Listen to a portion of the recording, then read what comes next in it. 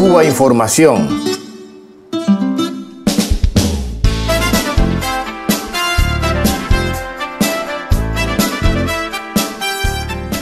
Hace unos días se celebraba en La Habana la segunda edición de TweetUp, un encuentro de blogs y redes sociales de Cuba. Y allí se presentó, ni más ni menos, Conrad Tribal, el jefe adjunto de la sección de intereses de Estados Unidos en Cuba.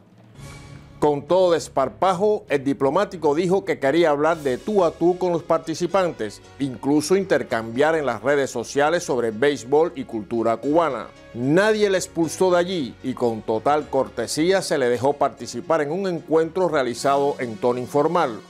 Pero varios blogueros presentes escribían después con ironía sobre el asunto. Carlos Alberto Pérez, autor del blog La Chiringa de Cuba, se burlaba de que el diplomático les quisiera tomar por tontos, haciéndoles creer su mensaje de cubanos, es hora de hacernos amigos. Y es que verdaderamente hay que tener una cara muy dura para plantear un intercambio de este tipo cuando él representa al gobierno que estrangula económicamente a Cuba, el que ampara a terroristas y encarcela a los antiterroristas cubanos, el que prohíbe a su propia ciudadanía viajar a la isla, y el que financia a todo tipo de grupos que persigan el derrocamiento del orden constitucional cubano.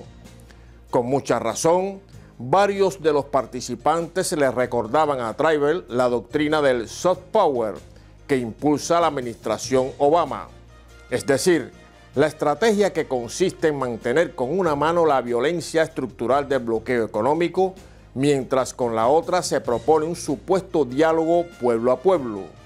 En cualquier caso, el intento del diplomático Conrad Tribal de acercarse a los blogueros revolucionarios de Cuba representa algo evidente, el fracaso absoluto del pequeño grupo de blogueros que ampara y promociona el propio gobierno de Estados Unidos, hoy sumido en un profundo descrédito internacional.